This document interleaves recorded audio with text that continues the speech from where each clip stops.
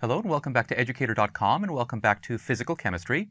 So today we're going to talk about entropy and probability. Uh, we're going to define what entropy is, finally.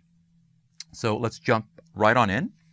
Okay, so when we introduced the definition of entropy, we said, well, let me actually write all of this out. So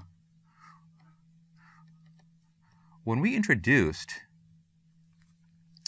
that ds is equal to dq reversible over T, which was our definition of the differential element, essentially the definition of entropy, we didn't give a structural model.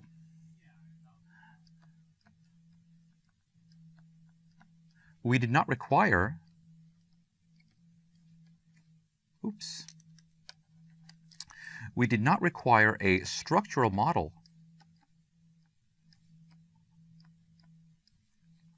for the system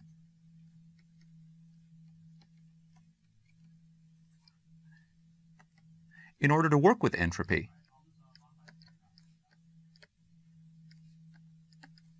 In order to work with this state function entropy or describe its behavior. Or describe its behavior. In fact, we didn't even need to know what entropy was. We had these mathematical descriptions, and then we had these constraints of temperature, pressure, volume, and we saw how entropy behaved. We were able to derive and calculate numerical values for it. Um, the only thing that we really did was casually refer to it as a measure of the disorder or randomness of the system.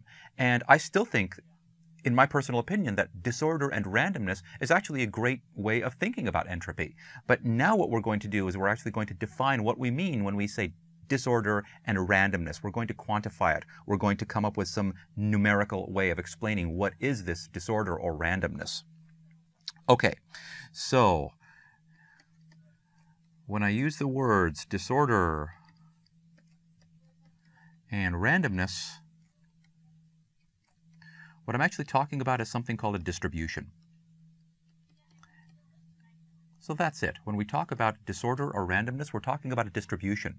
And in this case, it's going to be the distribution of particles.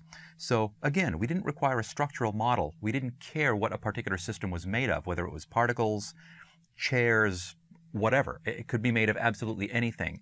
There was this behavior that it represented. This is our empirical observation, and we were able to use mathematics to derive uh, other, to describe different ways of how this thing behaves. Now we're going to give it a structural model. So here is our structural model.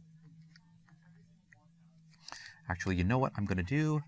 I'm going to go ahead and go and do this in blue, I think. Okay, so our structural model it's exactly what you think it is. A system is composed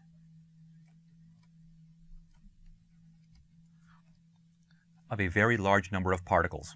That's it. of a very large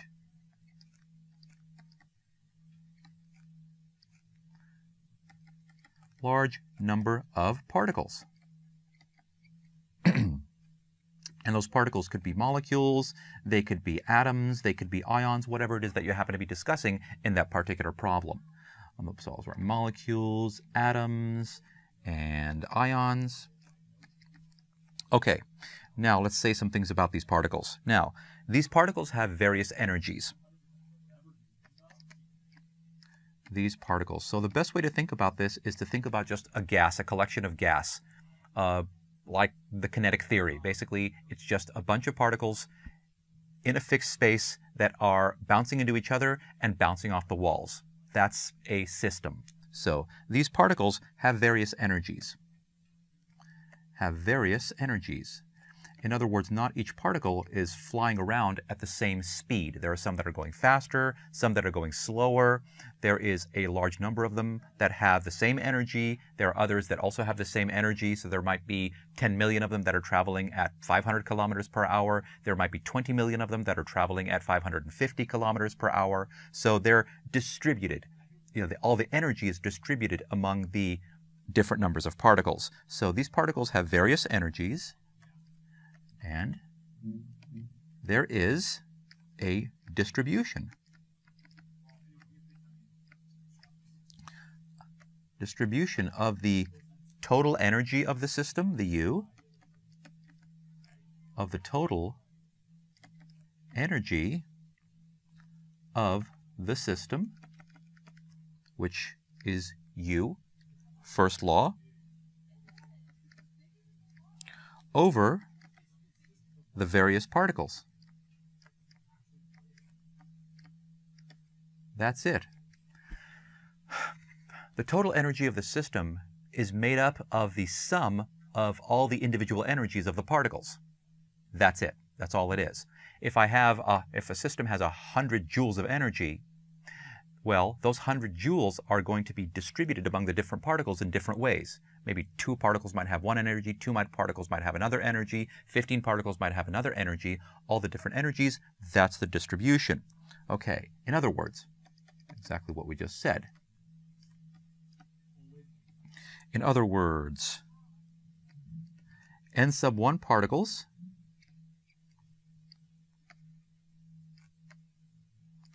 have energy E sub 1. N sub 2 particles